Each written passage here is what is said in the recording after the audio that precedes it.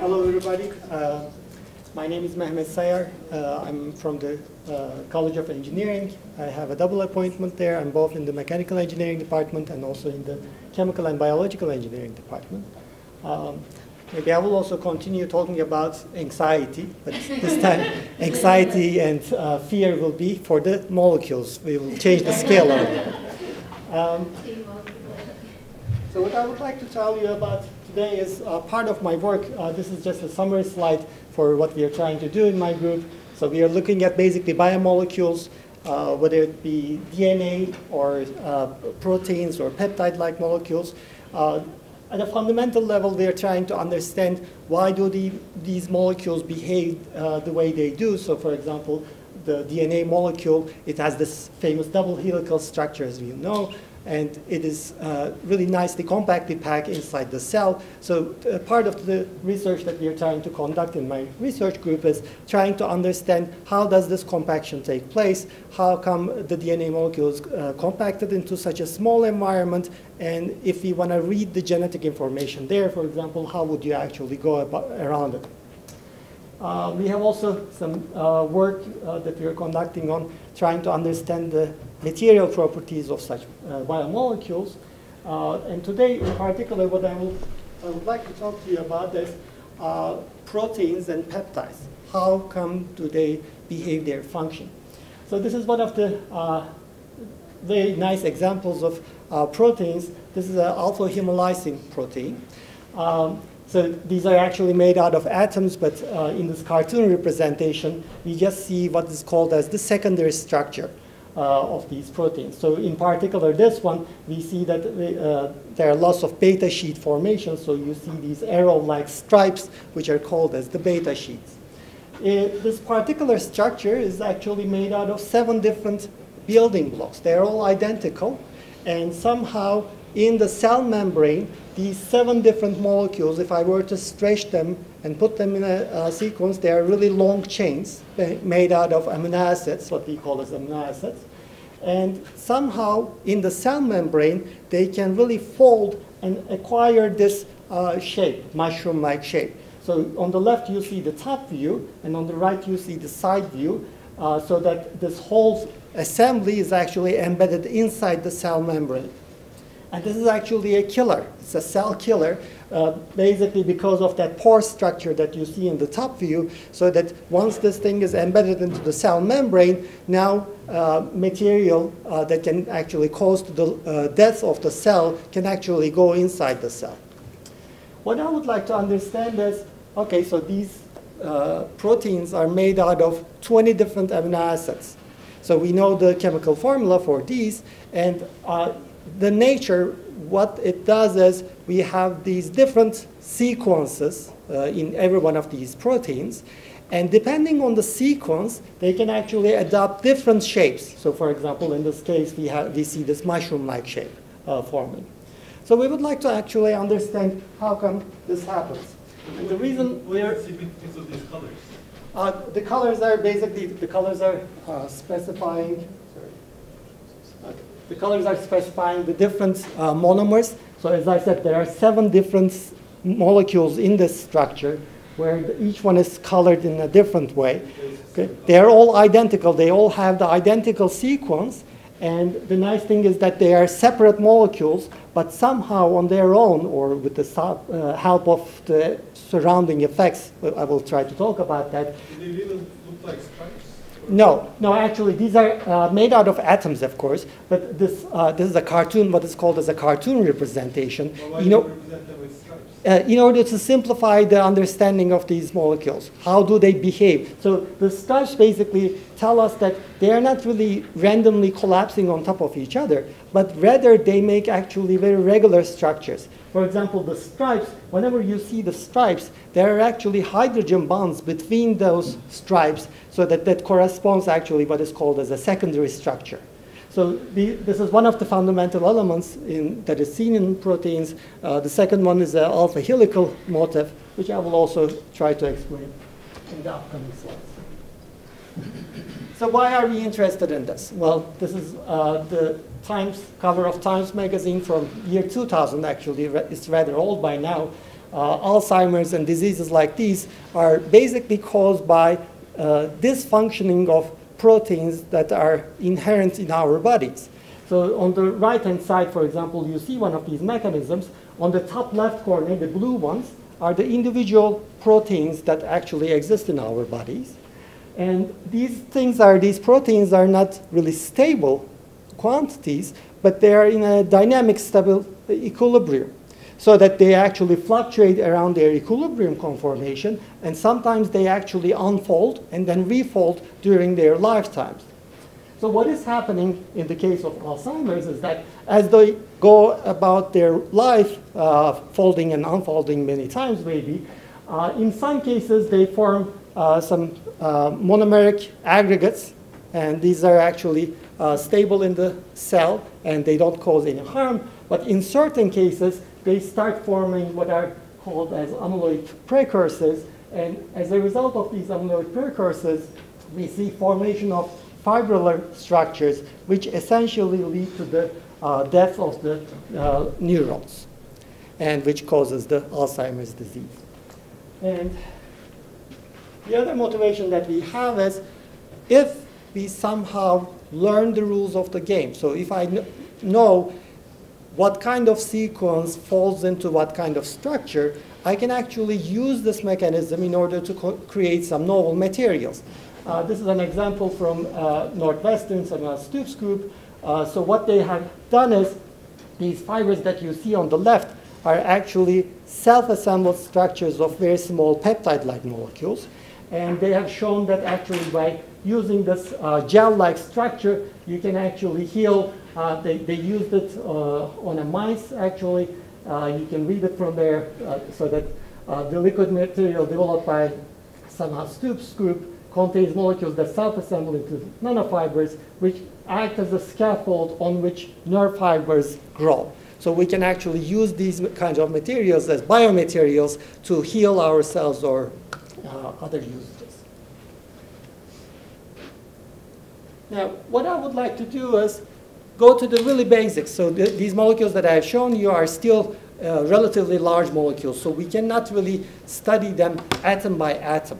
Rather than doing that, let's try to go to really model structures where we can actually simulate these structures and try to get an understanding of their physical behavior and also their conformational behavior with the hope that we can hopefully uh, control their behavior, how do they assemble, and under what kind of conditions do they assemble.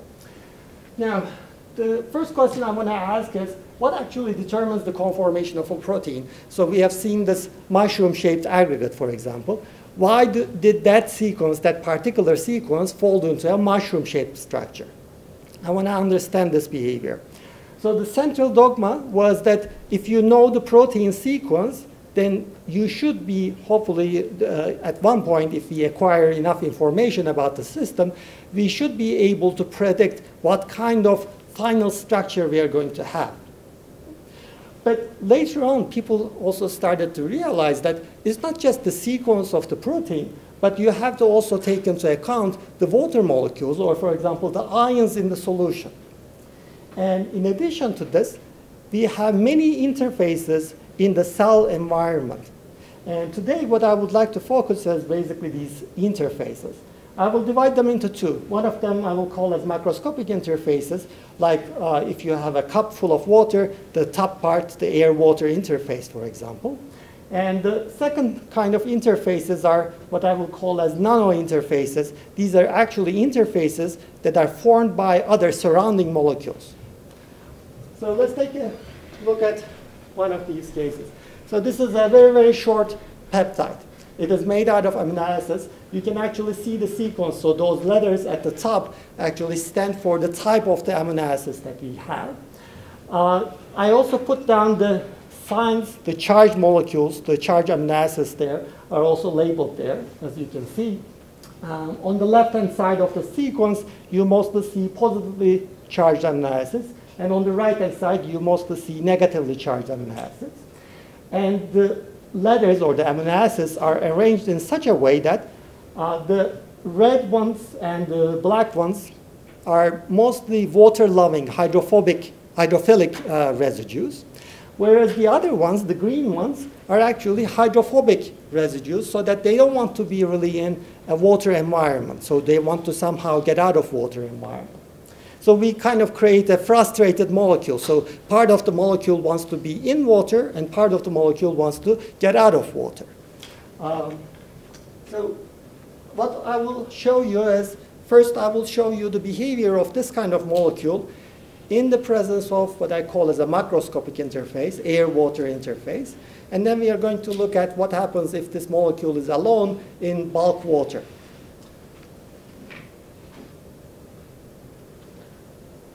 So this is a air-water interface simulation. So the bottom part is water. I, am hiding the water molecules. And the top part is actually air. And that blue layer there represents the air-water interface. As you can see, the molecule, as soon as I started the simulation, it goes to the interface. And after it goes to the interface, the blue residues there are representing the hydrophobic residues so that they, like, they don't want to be in water, so they want to get out of water.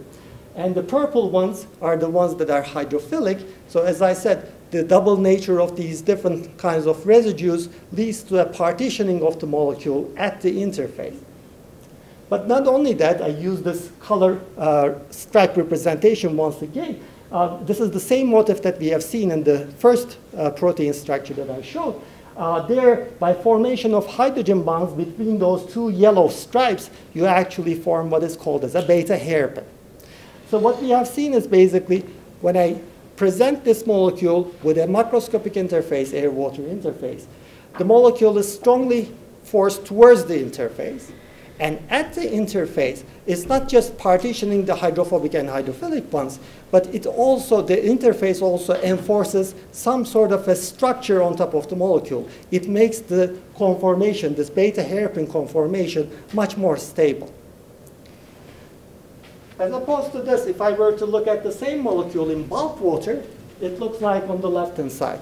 So I still see somewhat of a shape, the beta hairpin-like shape. But if you look at the distribution of the purple and the blue residues, there you see that they're actually mixed. They are not really separated from each other. So the molecule is actually in a frustrated state so that it doesn't really stay always like this, but it goes to many different states, just like the way we have imagined. It goes to an unfolded state, and maybe it falls back to this state, and sometimes it also acquires some other secondary kind of structures. But if I have a macroscopic air-water interface, as you can see on the right-hand side, one of the snapshots, the molecule not only correctly orders this hydrophobic and hydrophilic residues so that the blue ones point, are pointing towards the air and the purple ones, the hydrophilic ones, are pointing towards the water, but it also adopts a very stable secondary structure. The beta hairpin structure is permanently there once it adsorbs to the interface.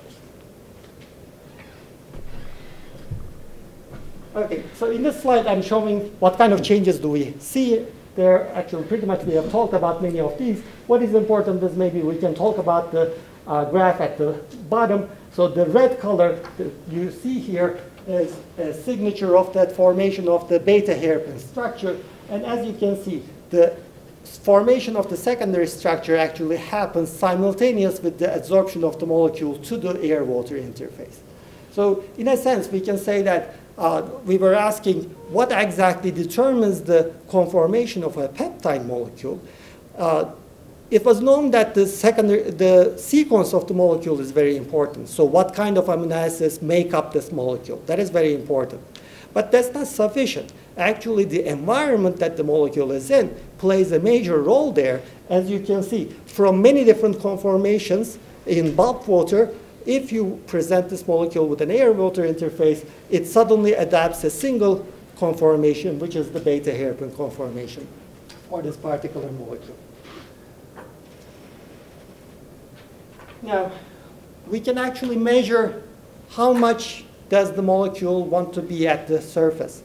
We can measure the adsorption free energy basically to the surface, so which is a measure of how strongly is the molecule attracted towards the interface. Um, if, when we do this, what we basically see is that the secondary structure formation at the interface actually plays a major role in terms of the absorption free energy. For structures where we don't see any secondary structure formation, open absorption to the interface, we see a linear behavior in terms of the change as a function of the number of amino acid residues in the structure. But when we have a secondary structure change, we see that this dramatically uh, destroys this linear behavior and the molecule's behavior becomes much more complicated uh, as we will see if there is some competition from other surrounding molecules. Integral over? Uh, this is the integral over, uh, sorry.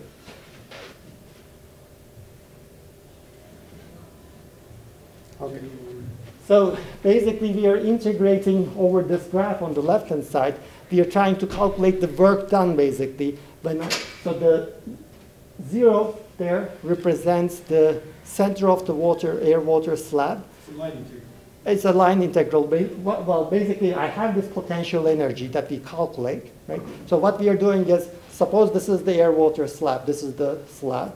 I start the molecule from the center of this slab, and then I slowly pull it towards the interface. And I, in a sense, I calculate the work done.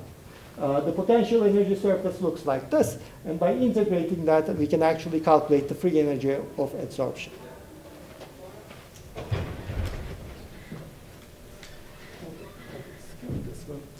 Now, we talked about uh, different kinds of secondary structural motifs. So the example, the first example I showed you was for a beta hairpin structure. The, the next structure I want to show you is an alpha helical motif, which is another common motif in, uh, found in proteins. And in this case, the model peptide sequence is very, very simple. It's made out of just two different kinds of residues, L and K. L stands for leucine, that's another hydrophobic residue. And K stands for lysine, which is a hydrophilic residue. So once again, we create a double-natured molecule, which we call as an amphiphilic molecule. It, some part of the molecule likes water, and the other part, the rest of the molecule, likes uh, the air or hydrophobic surfaces. And we see a very similar behavior also in this case. So the, these are called DSSP plots. So what is basically plotted in these graphs is on the y-axis we have the number of residues along the molecule. And for each one of the residues, we plot what kind of conformation is the uh, molecule in. So the available choices are it can be in a coil-like structure, or it can be bent, turn, alpha helix, or the pi helix, or the three helix, these kinds of different structures. Um, at the top, what I'm showing you is the behavior of the molecule in bulk water. So basically what we see is that it, we start the molecule as an alpha helical molecule, just as depicted on the left-hand side. But the molecule doesn't seem to really be stable. It goes to what we call as a half helix. So half of the molecule goes to alpha helical, but the other half closes the hydrophobic part of the surface of the molecule. But then also the same molecule also shows some beta sheet-like structure, the beta hairpin-like structure, or the random coil structure. These are all different conformations that are acquired by exactly the same molecule. So in a sense, the molecule is uh, anxious a little bit, so it's uh, frustrated really in solution, so that it doesn't know what to do. It doesn't know which conformation to pick. But once again, when we present the molecule with an air-water interface, we see that it's all blue. Blue means it adapted the alpha helical sequence. And once again, we see the signature of the uh, amphiphilic nature of this molecule. The hydrophobic and hydrophilic residues separate, and the molecule all of a sudden, uh, with the influence of this macroscopic interface, it actually adopts only a single uh, secondary structure. Okay, so now we can draw some conclusions about the macroscopic interface. Basically, what we see is that there is a strong absorption free energy. So it's uh, the, going to the interface is rather favorable for these amphiphilic molecules. And the second thing that I want to emphasize is that we see a shift in population dynamics. So if I consider the conformational space of the molecule, in the conformational space, there are all sorts of these structures. So it can adopt the alpha helix, the beta hairpin, or other coil-like structures. But when I present the molecule with an air-water interface, suddenly the probability that the molecule will be in any of these other structures are eliminated, but the molecule is enforced to be in this alpha helical state.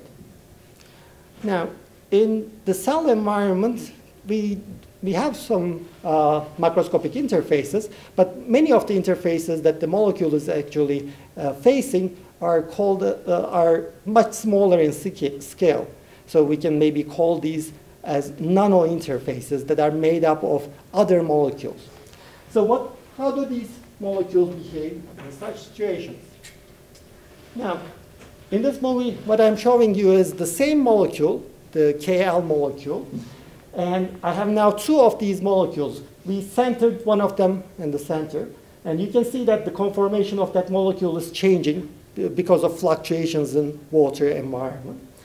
And the second one is slowly pulled towards the central one. Now, once again, now uh, when they are not in contact, they don't really feel each other, so they adopt different conformations. But as you can see, as they are coming closer and closer, they start interacting by extending their arms in a sense. You want to look at it that way. And eventually, when they really come into contact, okay, this movie was a little bit longer than I expected. uh, there we go.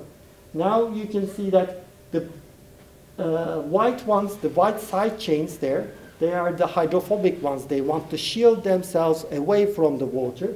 And the blue ones are the hydrophilic ones. Once again, those are the ones that want to be actually in water environment.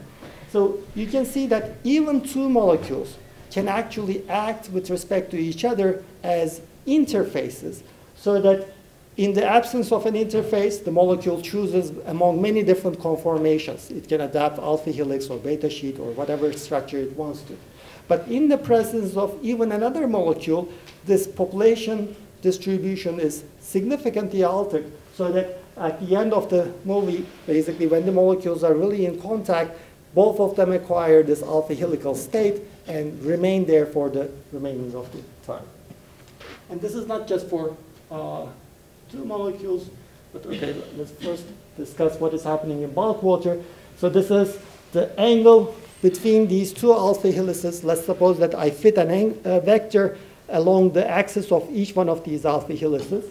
And I basically measure the angle between these alpha helices versus the distance between the center of mass of these molecules. The bright spot that you see on the left top part shows that there is actually one single preferred orientation for these molecules. They just want to stick uh, to each other. And we can actually see that from the red curve on the right-hand side that shows the depth of that curve basically shows us how strongly do these molecules attract each other. This is in bulk water.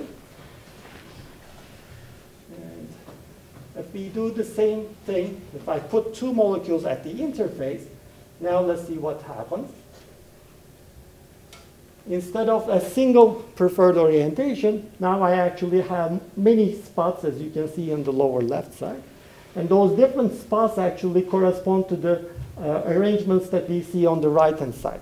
So they don't want to be perfectly aligned, but they are uh, mostly, the most preferred structure is actually the one on the right top part. So we see that when I combine these two effects, so when I put these two molecules at the air-water interface, all of a sudden the interaction between them is also changing. So we see a competition between the macroscopic interface versus the nano interface that, is, that exists between these molecules. So the red arm touches the red arm and the blue arm touches the blue arm? Uh, yeah, the colors have changed now. So the red represents the hydrophobic ones, but the blue represents the hydrophilic. Actually, blue ones are positively charged, so they actually don't want to touch each other. They just want to be in water. So the, these, are, these snapshots are uh, taken at the air-water interface, so we are looking down. So that means the blue ones are actually trying to remain in water as much as possible, and also away from each other in a sense. Only the uh, red ones are actually trying to touch each other. And if I look at the absorption free energy, Now, the red curve, as you'll remember, that was the bulk absorption free energy. So there was a deep minimum there. The, in bulk water, these molecules really attract each other and stick to each other, and then you cannot separate these molecules anymore. Whereas the green curve shows the uh, absorption free energy at the interface, we see that the interaction strength is greatly reduced there at the interface. So once again, we see the competition between this macroscopic interface versus the nano interface between these molecules, how they actually play. And in bulk water, this is actually, uh, you can continue adding more and more molecules. For this particular molecule, the most stable structure is a tetramer, actually so that four of these alpha helices come together and form a tetramer on their own, and that seems to be the most stable structure as we understand from the uh, potential of nuclear spheres. Okay, so what do we learn from this? Um, we already talked about the macroscopic interfaces and what kind of major role do they play on the conformational behavior of these molecules. But in the second part, what I tried to convince you is we don't really need a macroscopic interface. In the cell environment, we have actually many molecules in there. It's not just a dilute water environment. I have many molecules, maybe some of them are of the same type, some of them are of different type, and these molecules, the presence of these molecules, actually present many nano interfaces to the conformation of the peptides or the proteins. So the take-home message is, we, it is not, yes, the primary sequence, the a makeup sequence of the amino acids is extremely important. Without knowing that, we cannot really tell much about the conformation of the molecules. But just on its own, that's not sufficient, but we also need to take into account the environment effects, such as the formation of uh, macroscopic interfaces or the presence of other kinds of molecules. And one last thing maybe about stability versus flexibility. These uh, peptides that I showed you were mostly uh, man-made synthetic uh, peptides. And what is similar, what is common about these are, it's just like the structures that we make in the macroscopic world, so that when we make this table, for example, we, we don't want it to change its shape. We want it to remain as it is. But in nature, things don't work the same way. Uh, nature makes some proteins, but they are not permanently in a one single conformation. They actually adopt many different conformations, but when they fold into the correct structure, they perform their task, and later on they again visit many other structures. Uh, in terms of learning the rules of the game, we still have a lot of uh, distance to cover. We have to learn how to make things uh, stable but also flexible. So far, most of the things that we make are extremely stable so that they don't really behave like the ones in uh, nature. So we will hopefully uh, learn about that in the upcoming years. Okay, I want to conclude by thanking you for listening and also the, the ones who actually make the work. These are the group members. The Cahit was uh, one of the major contributors to this work, and Beytullah and Özgür also contributed significantly to the work that I presented and to my collaborators and the funding agencies. And thank you for listening, and I'll be glad to answer any questions that you have.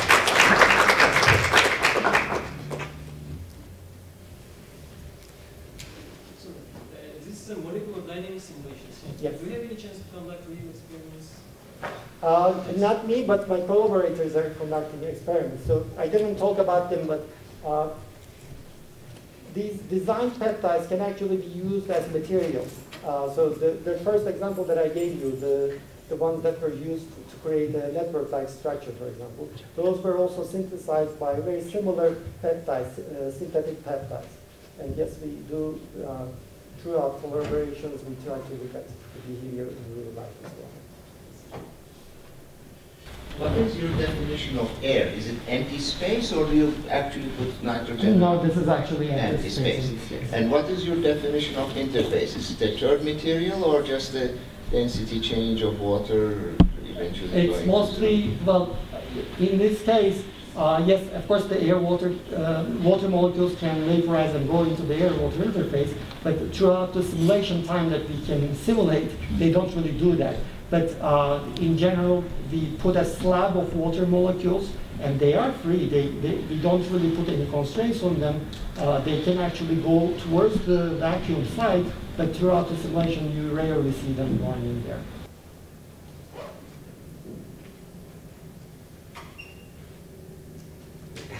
Can you explain once again the point you made about Alzheimer's disease? I, I missed that. Um. Um, go back here. So would this help us in any way understanding the cause? Um, yes, so the hope is that um, the disease, Alzheimer's, Alzheimer's disease, is actually caused by uh, proteins that normally function in our brain cells uh, normally. Mhm. But every once in a while, they, let me try to open up that slide here. Okay. Um, so they would have the secondary structure, but uh, throughout their life, they actually fold and unfold many times. But it just so happens that sometimes they misfold. And when they misfold, they can they become rather sticky and they start sticking to each other and forming these fiber-like structures. So those fiber-like structures lead to the death of the neuronal cell. So the hope is that if I can understand why do these molecules behave like this, why do they form fibers, and hopefully if we can prevent them to form fibers, we can actually prevent, find a uh, solution to the Alzheimer's disease. Okay. And uh, the last point you made about stability and flexibility. Uh, when you state that, you know, in Alzheimer's disease, they, misfold. Mhm. So I understand that there's a way that cells are supposed to behave and, you know, something goes wrong. Yeah. Whereas at the end of your presentation, the point you made about nature, that, you know, things continue, shifting and sometimes they perform their function and. Mhm.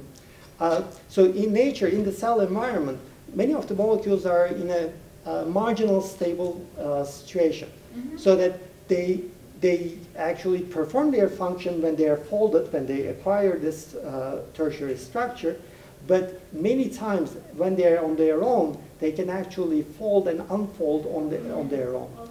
And this is their normal function. But in the case of the Alzheimer's disease, what is not really known at this point is that they do aggregate among themselves, maybe aggregates of uh, 10 molecules or so. And this is also seen in healthy people, and th- there it doesn't seem to lead to any problems. But in the case of the patient, these aggregates, these small aggregates, seem to be actually growing in size. And they, when they grow oversized, when they become really fiber-like structures, then there comes the problem. So we don't really understand what is the uh, triggering action there. Why do they grow uh, rather into uh, rather big structures? So if we can understand that, hopefully we can uh, find a better uh, cure.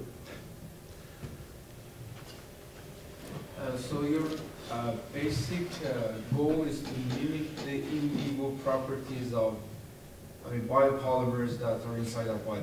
Um, mimicking the in vivo properties is definitely out of my range. Yeah, I cannot do that. Because as I said, the cell environment is very crowded. You have many different molecules in there. It's a soup-like structure.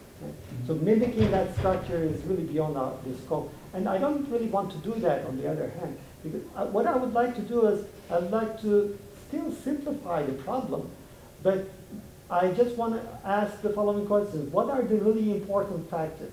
So for a long time, this protein folding problem, uh, people working on this said that, well, if I know the sequence, and by knowing the sequence, if I can predict the tertiary structure of proteins, then the problem is solved, and I can uh, solve every single problem.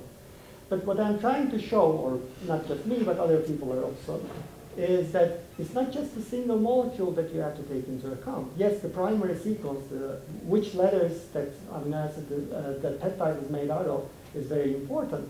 But in addition to that, you also have to take into account the environmental factors. This can be temperature, or this can be like the, the, the way I'm studying it, it can be an interface. So uh, So it's just eliminating lots of parameters and. yeah, trying to simplify the problem as much as possible, but uh, what I'm arguing is that uh, just simplifying the pro- uh, problem to the level of just the sequence is not a really good answer. You, you cannot really predict all of the material properties there. So you, have to take into account environmental factors, uh, and it's just uh, not just the interfaces. You have to also take into account, for example, pH changes, or how much salt is in there, uh, or the temperature, for example. My, I mean, the thing that is in my mind is why did you choose air as, um, as the interface? I mean, what, you, you wanted to check the hydrophobicity and hydrophilicity maybe? Yes, so the motivation there was when, uh, in the case of the Alzheimer's disease, the way these molecules, these peptides stick to each other is because these peptides, these molecules themselves also have uh, parts of the molecule that are hydrophobic and parts of the molecule that are hydrophilic. So if, I, if you consider it like that, then you can maybe think of, well, there are actually lots of interfaces there on the molecule. So the air-water interface is actually um, kind of another s- simplification in that case. So first I want to study, well, if I present it with just a single macroscopic interface, which again, with the hope that I mimic the interaction between the molecules, of course. So the air-water interface is just another example of uh, hydrophobic, hydrophilic, which derives the separation of the hydrophobic and hydrophilic residues. Okay, so thanks for listening. Thank you.